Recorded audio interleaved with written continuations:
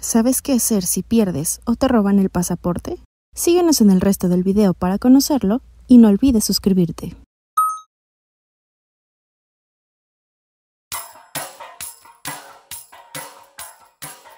Los mexicanos que desean viajar al extranjero deben contar con un pasaporte, pues será su forma de identificación al entrar a otro país y su puerta de entrada para recibir asistencia consular.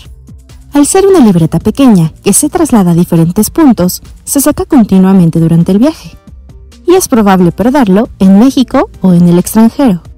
Si estás en México, al momento del extravío, debes acudir a las oficinas del Ministerio Público de tu localidad y levantar un acta por robo o extravío de tu pasaporte.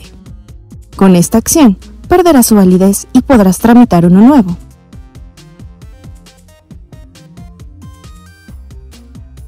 Luego saca una cita para tramitar el pasaporte por teléfono o por Internet. La Secretaría de Relaciones Exteriores dice que debes realizar el pago correspondiente de tu trámite por vigencia en una ventanilla bancaria.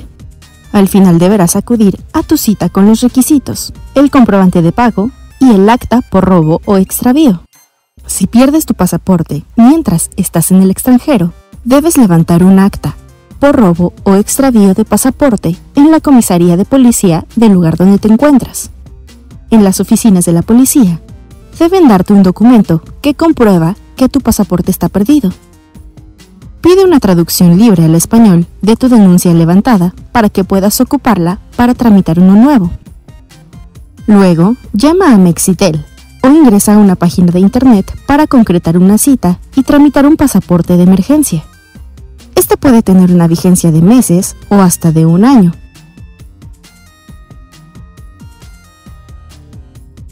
Presenta tu denuncia de robo o extravío, acta de nacimiento, identificación vigente con fotografía y acredita la urgencia del trámite con comprobantes u otro tipo de documentos. Si hay un consulado mexicano en la ciudad donde te encuentras, también puedes llamar y acercarte para que te tramiten un pasaporte de emergencia o te den un salvoconducto para un único viaje de regreso a tu país. Deberás presentar tu denuncia por robo o extravío, acreditar tu nacionalidad y presentar una identificación con fotografía. Hay países donde tramitan y entregan el pasaporte mexicano el mismo día. Los pasaportes de emergencia tienen una expiración próxima. Cuando estés de regreso en México, podrás tramitar tu pasaporte como si fuera la primera vez. Recuerda que antes de viajar, debes sacar una copia de tu pasaporte, tomarle una foto o una copia digital en caso de extravío. Para más información sobre viajes fuera de México, visítanos en viveusa.mx.